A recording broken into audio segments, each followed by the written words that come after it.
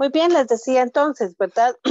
Tenemos acá los adjetivos y los adjetivos, como ya dijimos, que son cualidades, que son eh, situaciones que nos van a dar más información de un adjetivo, podemos encontrarlos. Están los calificativos como o calificación de, de lo que es el sustantivo como tal.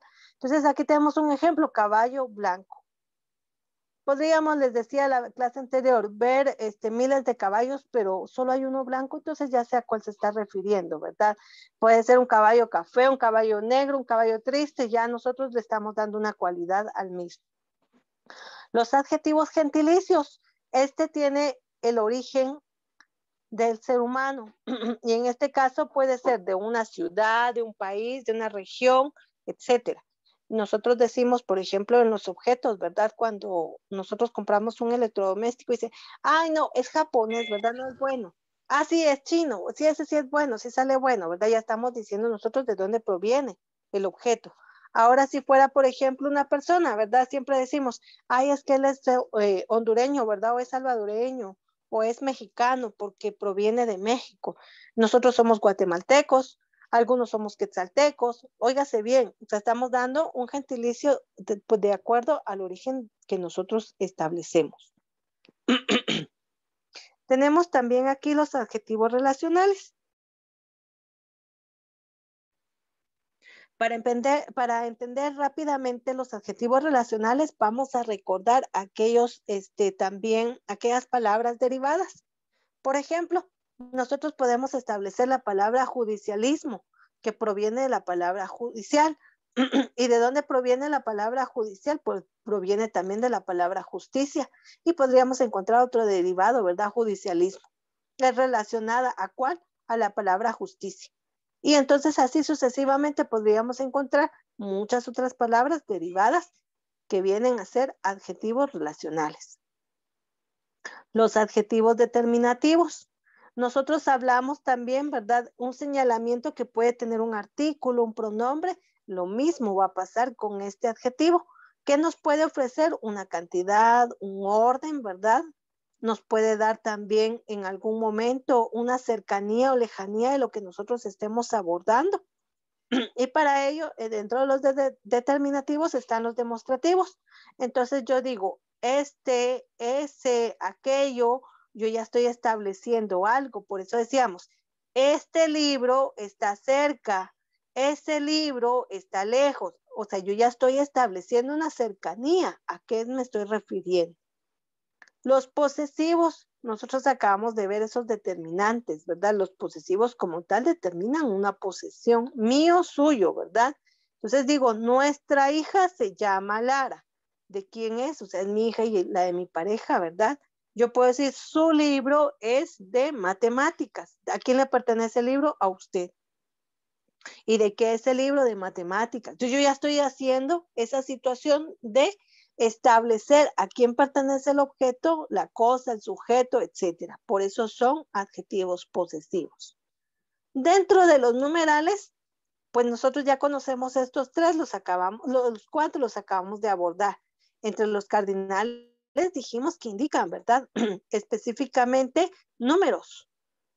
Estos son los cardinales. En los ordinales de orden, ¿verdad? Y aquí viene otro adjetivo este, relacional, ¿verdad? Ordinales de orden, que presentan un orden. Dijimos entonces primero, segundo, tercero, cuarto, según la necesidad que tengamos. En los múltiplos dijimos entonces que son, ¿verdad? La duplicación, la triplicación, la multiplicación de las veces que se pueda repetir. Triple, dijimos, doble, etcétera. En los partitivos, pues son solamente partes de las cuales nosotros vamos a hablar. Un cuarto de taza, tres octavos de taza, media libra, medio litro, etcétera. Ya son solamente partes. En los adjetivos indefinidos, la misma situación que proyectamos en, el otro elemento, este, en la otra categoría gramatical. Indefinidos, un, alguno, mucho, poco. ¿Cuánto es eso? No me determina, solo estoy dando una cualidad del mismo. En los interrogativos fácilmente reconocemos una pregunta, ¿verdad? Dijimos que interrogación cuando tiene su signo de interrogación. Y en el exclamativo cuando tiene su signo de exclamación como tal. Entonces no hay mucha diferencia o eh, distinción, ¿verdad? Solamente es en la categoría que nosotros la ubiquemos. Por favor, prestar atención a eso. Luego tenemos la concordancia entre el número y el género. Esto va a ser en relación, ¿verdad? Que si yo hablo en plural, todo va a ser en plural, en singular, todo va a ser en singular, en masculino, todo va a ser en masculino y así sucesivamente para pasar luego a los grados del adjetivo, que son tres también.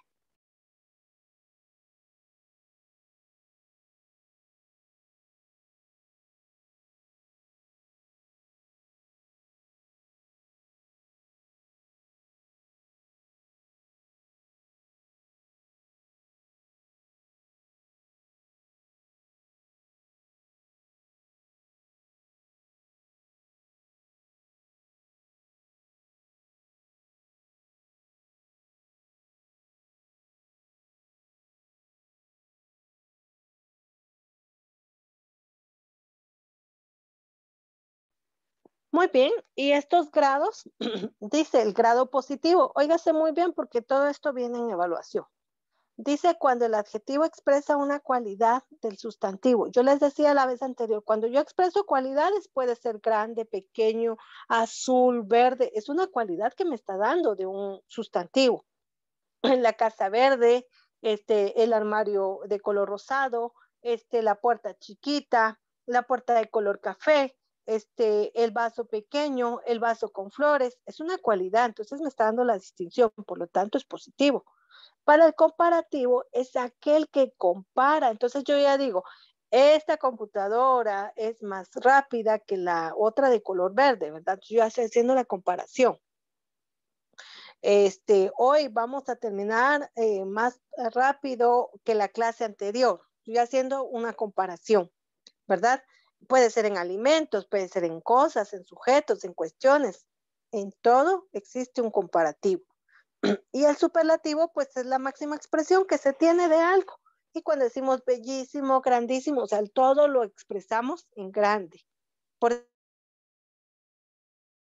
eso es su grandote, ¿verdad? Buenote todo ah, eh, regularmente establecemos en esta distinción y por eso son grados específicamente del adjetivo. A eso se debe lo que nosotros estamos abordando el día de hoy.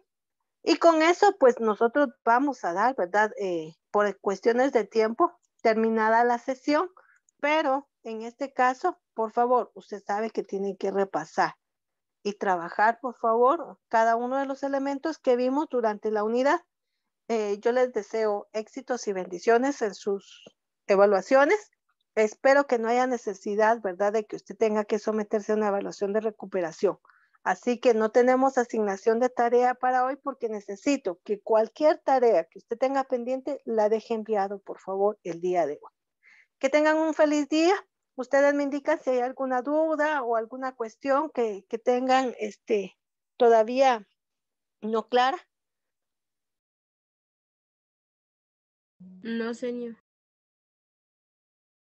Muy bien. Entonces tengan un feliz día. Pueden pasar a su siguiente clase. Gracias, señor. Gracias. Sí, nos vemos. Gracias, señor. Se cuidan.